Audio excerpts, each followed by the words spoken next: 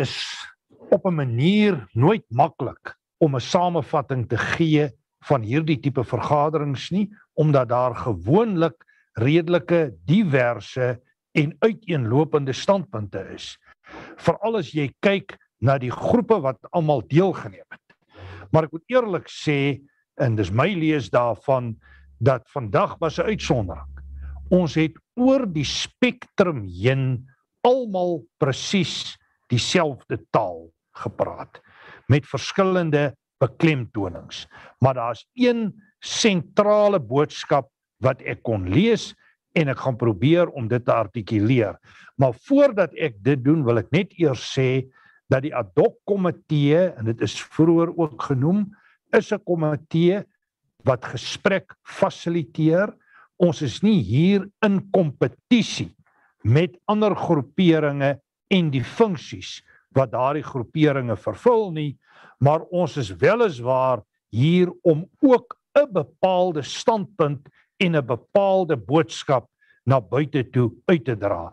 En wat ek nou hier deurgee is my opsomming en waar u dit nodig vind, moet u my asseblief in die verband te uh, korrigeer. Ek dink die basiese lyn is dat hier breë konsensus en inkoop is dat die wetgewing in sy totaliteit onaanvaarbaar is en dat die wetgewing verkieslik heeltemal geskraap moet word of ten minste baie indringend hersien en herbekyk en herbeoordeel moet word. Die redes hiervoor hou verband met 'n klomp sake. Ek lys hier vyf belangrike sake. Die polities staatkundige konteks en dit hang saam met die verswakkende staat en wat alles daarmee gebeur, die legitimiteit van die staat, die hele kwessie van gebrek aan veiligheid en sekuriteit, die uitkalwe van die grondwet en so meer. Tot by die punt waar daar ernstig vrae gevra word oor die grondwet se vermoë om waardes en skaarsmiddels suksesvol toe te wys. Tweedens, hier's 'n probleem op 'n demokratiese vlak. Hier's toenemend aanduidings dat wetgewing diktatoriaal van aard is. En dis nie net die wapenwet nie, dit raak ook die wysigings aan artikel 25 van die grondwet, die PEHUDA wetgewings.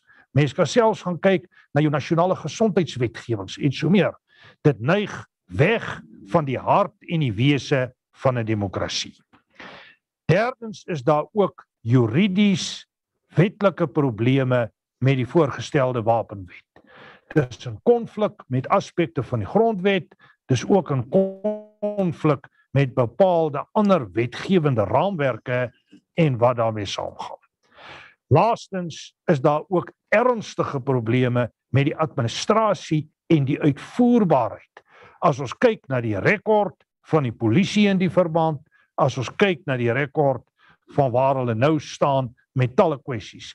In kort, hulle kan die bestaande wetgewing nie bestuur nie. Hoe gaan hulle 'n nog moeiliker bedeling bestuur op basis wat hulle self uh, nou wil inneem? En dit hang saam met die feit dat die polisie ook 'n verdagte is hier van duidelike getuienis van wanoptrede aan die kant van die polisie en selfs die verspreiding van wapens na kriminele. So hier is 'n moraliteitskwessie. Teen hierdie agtergrond is die standpunt baie sterk dat daar proaktief gehandel moet word dat die groeperings hulle moet verbind tot forme van protes en verset. Maar en hier haal ek verkoos Malan aan en ander dat ons nie hier praat van oorlogspraatjies nie. Dit gaan nie hier oor die opneem van die wapen nie. Maar dit gaan oor verskillende forme van protes proaktief. In kort dit wat uh gesê is as die mobilisering van die aktiewe burgerlike samelewing. Dit lê in die kern van die strategie. En ek wil 'n paar goed hierso identifiseer. 'n Baie sterk media strategie met die doel om die problematiek bewus te maak, uh mense bewus te maak en ook steun te mobiliseer. Petisies en beswaarskrifte sover as moontlik. Daar is ook gepraat van skrywes direk aan invloedryke rolspelers soos byvoorbeeld die spreker. Die hele kwessie van regsaksies waar en soos van toepassing, ons moet net onthou en Dr. Groenewald het dit mooi uitgespel dat uh, ons nou nog met 'n konsep wet te maak het dat hier 'n klomp prosesse is wat binne die parlement en in ander strukture moet plaasvind, maar laat wetlike aksie op 'n gepaste wyse moet plaasvind. Ek dink as mens bloot kyk na die inhoud en hier kyk ek na die ontleding van Fred Kamfer, dit raak verskeie aspekte. Dit raak nie net selfverdediging en selfbeveiliging nie, maar dit raak ook 'n uh, kultuur, dit raak ook rekreasie. Dit raak sportbedrywighede. Dit da, dit daag die basiese veiligheid, ag vryheid van individue uit om te kan doen wat graag gedoen wil word. Dit is beklemtoon dat onbetrokkenes gemobiliseer moet word. En ek dink wat die ad hoc komitee hier reg gekry het is om 'n groot aantal groepe bymekaar te kry en daar gesprek gevoer word oor sake van belang. Baie belangrik, skakel in by veiligheidsstrukture. Daai punt het verskeie kere deurgekom en ek dink dit is kernbelangrik dat ons 'n veiligheidsbewustheid, 'n veiligheidskultuur skep en ook met strukture in die verband saamwerk. Ek dink ook dit is belangrik dat kom ons noem dit in aanhalingstekens private of burgerlike veiligheidsstrukture met mekaar koördineer en ek verstaan daar is deesdae ook inisiatiewe om hierdie koördinasie te bevorder. Dan het Koosmalan verder gegaan en ek ondersteun dit ook sterk die skep van veiligheidssones. En jy sou dit kon begin te lees as 'n oorneem van die kernfunksie van die staat.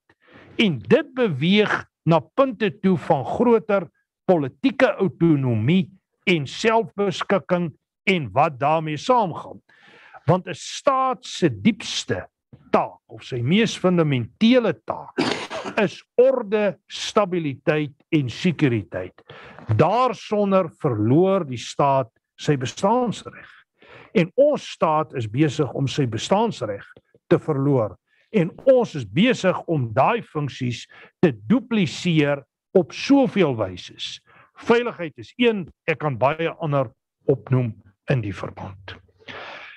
Ten slotte baie belangrik dat ons moet kyk na demonstratiewe optredes. Toe uh, Pieter gepraat het hier, het ek gedink aan 'n tipe van 'n swart Vrydag protes. Daar's gepraat van sluit Pretoria af. Ek dink ons moet ons daadwerklik plaas in die politieke omgewing. Ons moet daadwerklik handel en hier is van die kant van die dames ook pertinent gesê dat hulle is nie net hier om te praat nie, hulle is hier om te handel. Meneer die voorsitter, in 'n neutedop dink ek ons kan baie tevrede voel met die feit dat ons 'n klomp groeperinge hier bymekaar kon trek. Dat ons letterlik aanvullend en ondersteunend tot mekaar kom praat. En dat ek dink ons sterker uit hierdie gesprek uitgaan as wat ons daarin gegaan het. In 'n neutedop is dit my samevatting, my opsomming. U moet maar sê of u daarmee saamgaan. Dankie voorsitter. Um, uh, Andre